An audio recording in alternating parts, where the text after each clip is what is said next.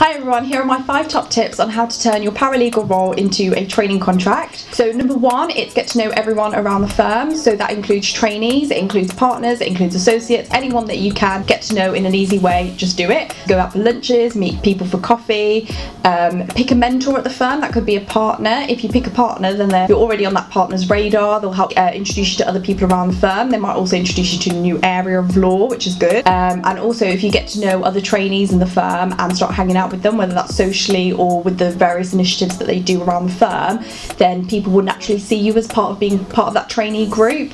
So then when it comes to recruiting a trainee at the firm, you seem like an, a natural fit for a training contract. So number two is volunteer. So what I mean by this is every law firm has a corporate social responsibility policy. So they'll probably have various initiatives throughout the year to either volunteer for um, a school or volunteer for a charity you know just get involved do as much as you can. It's going to be um, spread out firm wide lots of people within the firm will get to know you through that and it will it will take very little of your time. Just basically take part in as much as you can just to get your face out there so people become familiar with who you are this is particularly relevant if you're at a big firm and it's hard to get to know everybody. Number three is push yourself. Um, if you're a paralegal at a firm, then it's likely that there's going to be various other paralegals at that firm. So why do you deserve the training contract over any of those? It's going to be difficult for graduate recruitment to narrow down who they want from an internal pool as a potential trainee. So you've got to make sure you make yourself stand out. So that could be finding a niche at the firm that they can't live without.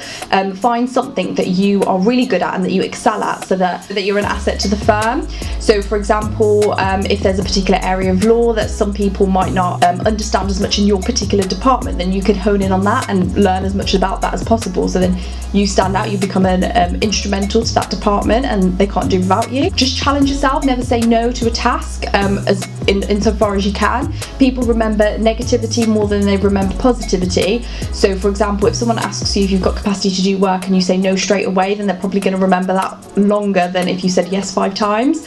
Um, so even if you don't have capacity to take on a task, you could always be like, I don't have capacity right now, but on this day I will, and just come back to them with a bit more of a positive solution. That leads me on to the next point, you're a paralegal because you want a training contract, so never feel like you can't be honest and open about your ambitions of securing a training contract. If you're at a firm where you feel like you can't be honest about your ambition, then that's probably not the firm for you and it's probably not where you're going to get your training contract. From day one, you need to be clear I'm here and I want to be a paralegal, but this role is very much temporary, and my long term goal is to secure my training contract and be a qualified solicitor talk to HR recruitment, find out about what the process is to secure that training contract, talk to the training managers, the training appraisers, uh, the training principal around the firm, get your face out there, get to know all these people that are instrumental in deciding who the future trainees are going to be.